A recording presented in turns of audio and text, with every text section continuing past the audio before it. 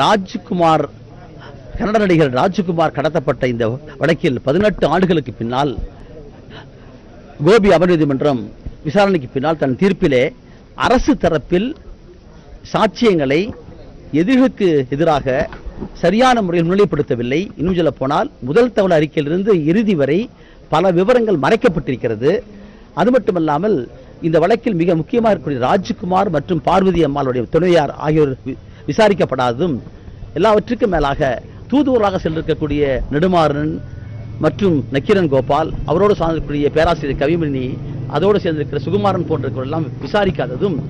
அது மட்டுமல்ல இந்த வழக்கில் சாட்டப்பட்டுள்ள அனைத்து ஆவணங்களுமே பின்னிட்டு காலதாமதாக அனுப்பப்பட்டிருப்பதும் அடையாள அணிப்பை பொறுத்தவரை நம்பத்தகுந்ததாக இல்லை என்பதும் நாகப்பாவுடைய கூற்றை பெறுவதை முற்றாக நிராகரிக்கப்பட வேண்டிய ஒன்று என்றும் தீர்ப்பளித்திருக்கிறார்கள் இந்த வழக்கில் வீரப்பனும் அவரை சார்ந்திருக்கிற ரெண்டு பேரான சேத்துக்குழி கோவிந்தனும் அதே போல் சந்திரகவுண்டும் ரெண்டாயிரத்தி நான்காம் ஆண்டு மோதல் என்ற பெயரில் கொல்லப்பட்டாரால் அவர்கள் மீது இருக்கிற குற்றச்சாட்டு அற்றுப்போய்விட்டது.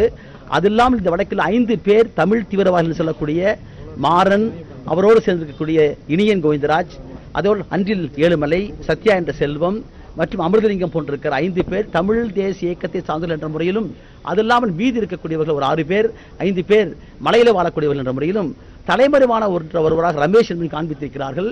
இவர்களை இணைக்கக்கூடிய சாட்சியம் என்பது அரசு தரப்பிலே முன்னிடப்படுத்த மட்டுமல்ல இந்த வழக்கில் கைப்பற்றப்பட சொல்லக்கூடிய ஆயுதங்களும் கைப்பற்றக்கூடிய விதத்தில் இல்லை. இந்த இந்த வழக்கிற்கு சம்பந்தம் இல்லை. ஆகவே சாட்டப்பட்டுள்ள இந்த எதிரிகளுக்கும் மற்ற வீரப்பனுக்கும் என்ன சம்பந்தம் இருப்பதையே அரசு தரப்பில் முன்னப்படாத காரணத்தினால் சந்தேகத்தின் பலனை கொடுத்து விடுதலை செய்வதாக அறிவித்திருக்கிறார்கள். இது ஒரு வரலாற்று சிறப்புமிக்க தீர்ப்பு. அன்றாட நிகழ்வுகளை அறிந்து கொள்ள மதிமுகம் தொலைக்காட்சியின் யூடியூப் சேனலை சப்ஸ்கிரைப் செய்யுங்கள்.